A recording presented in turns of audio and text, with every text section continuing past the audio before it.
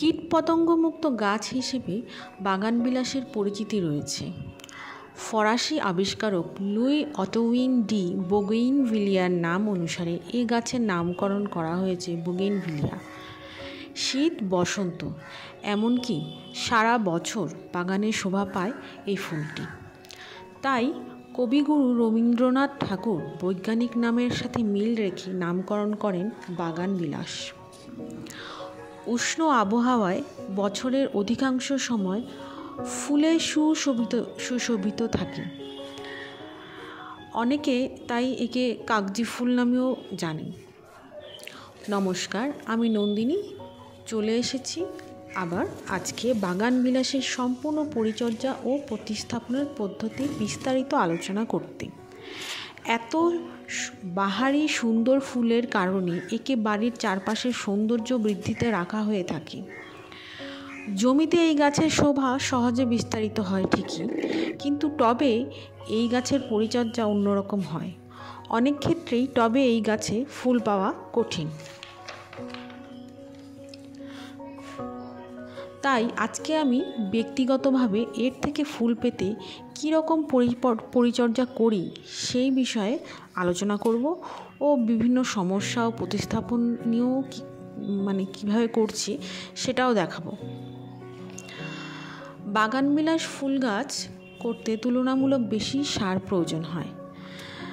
এই গাছের বৃদ্ধির জন্য পর্যাপ্ত সূর্যালোক প্রয়োজন, তাই আমি একে ছাদের যেদিকে সারাদিন সূর্যের আলো থাকে সেখানে রাখি। এই গাছ ছায়া বেশি পেলে কিন্তু পাতা বেশি বেড়ে যাবে এবং ফুল আসা বন্ধ হয়ে যাবে।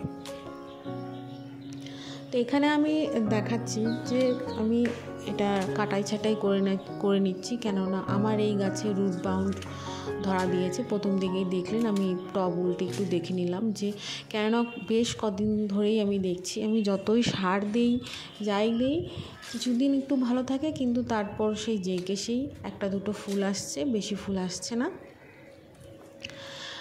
তো অনেক কারণবশত এই গাছটার দিকে আমার নজর করা সেরকম হয়, হয়ে ওঠেনি। জাস্ট সার দিয়ে ছেড়ে দিতাম। তো এখন খেয়াল করছি হ্যাঁ না, এটা একটু কিছু করতে হবে, দেখতে হবে, এটা পরীক্ষা নিরীক্ষা করে আমি দেখলাম, রুট বাউন্ড হয়েছে, গাছের নিচে শিকড় চলে এসেছে। তো এটার জন্য যে মাটি, যে ধরনের মাটি, বাগানবিলাস গাছ, দোআঁশ মাটিতে বেশি ভালো হয়। এই জন্য দোআঁশ মাটি আমি জোগাড় করতে তো পারিনি। তাই আমি এঁটেল মাটির সাথে আমার আমি গঙ্গার পাড়ের কাছেই থাকি। তো আমার এখানে এঁটেল মাটিটাই আমি বেশি পাই। তো এঁটেল মাটির সাথে সমপরিমাণ বালি মিশিয়ে তার সাথে আমার বাড়িতে তৈরি সবজির খোসা ও রান্নার যাবতীয় বর্জ্য দিয়ে তৈরি যে আমি সার তৈরি করে রাখি, সেটা দিয়ে আমি মাটির মিশ্রণ তৈরি করেছি। এবং তার সাথে সাথে ওই মাটিতে আমার কাঠের কয়লার গুঁড়োর ছাইও মেশানো রয়েছে, যেটাতে খুব ভালো পটাশ থাকে। তো পটাশ ফুল আনতে খুব সহায়ক। তাছাড়া এখানে দেখুন বলছি আমি নেক্সট কী সারের মধ্যে আর কি যুক্ত করি। এখানে দেখুন, মাপ একদম শেকড় লেগে গেছে। প্রায় দুই আড়াই বছর পরে আমি এটার প্রতিস্থাপন করব। তো এই টপটা মাঝখানে ঝড়ও বেশ ঝড়ও হয়েছে আপনারা জানেন। তো তো ওই ঝড়ে দেখেছেন যে একটু উঁচু জায়গায় আমি রাখি ছাদ থেকে একটু উঁচু জায়গায় ইটের একটা পিড়ে মতন করে ওর উপরে টব রাখি। তো ওই টব দু দু তিনবার ঝড়ে পড়েছে। তো টপটা ফেটেও গেছে এমনিতে টপটা ভাঙতে মানে বদলাতে তো হতোই। এখন দেখুন এই টবের থেকে আমি বাড়ি করতে পারছি না। খুব শক্ত হয়ে রয়েছে। অন্যান্য আমি মোটামুটি মানে ছটা গাছ আমার রিপোর্টিং করা হয়ে গেছে এর মধ্যে। কিন্তু কোনো গাছে এরকমভাবে টবের সাথে লেগে নেই। এটার যা অবস্থা হয়েছে। তো কোনোভাবেই এটাকে আমি বার করতে পারছি না। সেই জন্য আমি সিদ্ধান্ত নিলাম যে এই টবটাকে আমাকে ভাঙতে হবে। তো চলে আসি যেটা মিশ্রণের ব্যাপারে বলছিলাম।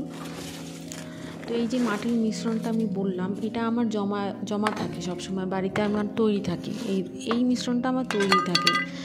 এই ধরনের বালি, মাটি আর আমার তৈরি সার মিশ্রণ, তার সাথে কাঠের কয়লার গুঁড়ো ছাই।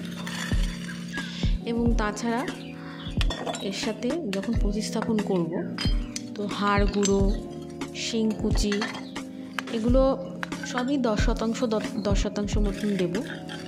নিম খোল দেবো এর মধ্যে কুড়ি শতাংশ। এদের থেকে ডাবল বেশি। মানে যাবতীয় হাড় গুঁড়ো শিংকুচি যা নেব, তার ডাবল নেব নিম খোল। নিম খোলটা দরকার পড়ে। এই গাছের জন্য খুব ভালো। এবং ভার্মি তার থেকে আর একটু বেশি নেব। এবং মেশাবো আমি কোকোপিট। ওই ভার্মি কম্পোস্টের মতনই কোকোপিট আমি মিশিয়ে একটা মিশ্রণ তৈরি করে আমি পরবর্তীতে আসছি নেক্সট ধাপে করব বলে। এইখানে দেখুন আরেকটা জিনিস যেটা হচ্ছে, অবশ্যই যখন প্রতিস্থাপন করছে দুই আড়াই বছর পরে, এভাবে কিন্তু আপনাকে গাছের শেকড়টাকে ছোট করে রিপোর্ট করবেন এই অবস্থায় কিন্তু রাখবেন না। তাহলে কিন্তু সেই বৃদ্ধি কিন্তু হবে না। এটাকে যথেষ্ট পরিমাণে মানে পারলে মানে পঞ্চাশ শতাংশ আপনি ছাঁটাই করে নেবেন চারিদিক থেকে। এবং অবশ্যই যেই টবে বসাবেন সেই টবের হিসেব অনুযায়ী শেকড়টা ছাঁটাই করে নেবেন। তো এখানে দেখুন মাটি এত শক্তভাবে লেগে আছে যে মাটি কাটতেও আমার কষ্ট হচ্ছে এখানে। তো চলে আসি, আমি যে মিশ্রণে কোকোপিটটা মেশাবো কেন কোকোপিট মেশানোর কারণ এটাই যে ফুল পেতে হলে গাছে আপনাকে এদের মাটিটা একটু ভেজা রাখতে হবে। শুকনো রাখলে কিন্তু হবে না। তাই বলে কাদা কাদা করে ফেলবেন না। যাতে কাদা কাদা না হয় সেই জন্যই কোকোপিট মেশাচ্ছি। কেননা কোকোপিট না খুব মানে জলটা ধরেও থাকে, আবার জল নিষ্কাশনও দারুণ কাজ করে। দারুণ উপযোগী। মাটিটাকে ভেজে রাখবে, সোদা রাখবে ময়েস্ট যেটাকে বলে। আর তাতে কি আপনার ফুল ধরবে? বারবার জল দিতে হবে না এবং অবশ্যই দেখবেন হাত দিয়ে মাটিটা যদি উপর থেকে দু ইঞ্চি মতন খুঁড়ে দেখেন যে মাটিটা শক্ত হয়ে গেছে, শুকিয়ে গেছে, তখনই জল দেবেন। বর্ষাকালে না এদের, আমারটা তো ছাদেই থাকে আমার টব এত জল পড়ে যায় এবং বর্ষাকালে মেঘলাও থাকে, সূর্যালোকও পায় না। তো বর্ষাকালে কিন্তু এই গাছ থেকে ফুলের আশা না করলেই ভালো।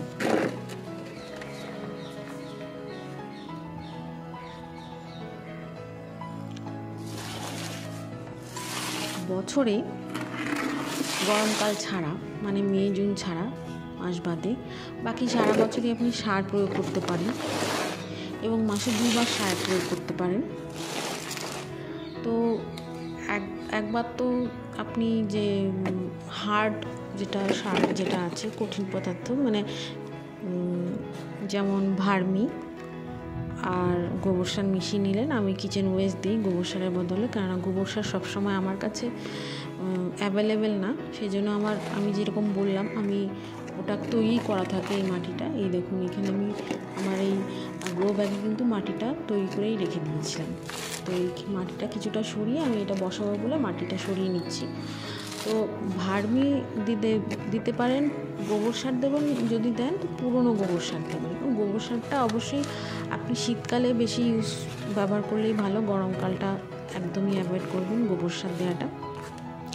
কারণ কিচেন ওয়েস্ট যে সারটা হয়, সেটা কিন্তু বেশ ঠান্ডা হয় আর গোবর সার কিন্তু বেশ গরম হয়।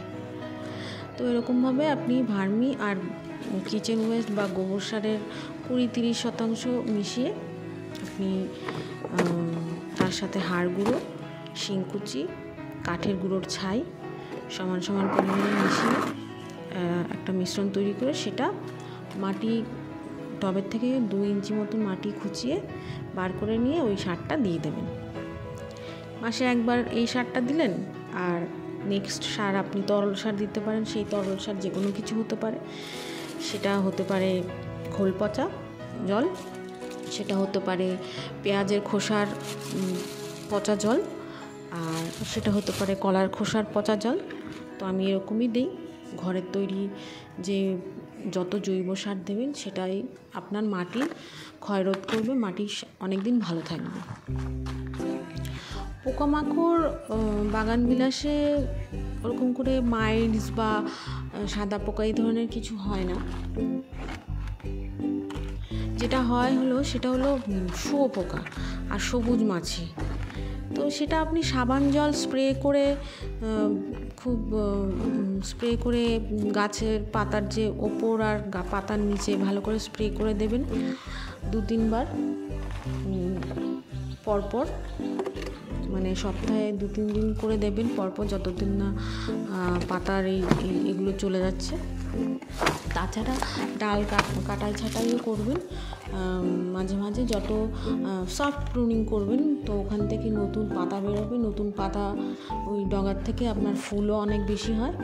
সেই জন্য মাঝে মাঝে কাটাই ছাটাইও করে দিতে পারেন। ভিডিওটা যদি ভালো লাগে অবশ্যই অবশ্যই সাবস্ক্রাইব করবেন, একটু শেয়ার করে দেবেন। অনেক ভিউজ পাচ্ছি, কিন্তু সেই হিসেবে সাবস্ক্রাইবার পাচ্ছি না। দয়া করে একটু সাবস্ক্রাইব করে দেবেন। আর ভালো লাগলে অবশ্যই কমেন্ট করে জানাবেন। ধন্যবাদ। ভালো থাকবেন, সুস্থ থাকবেন।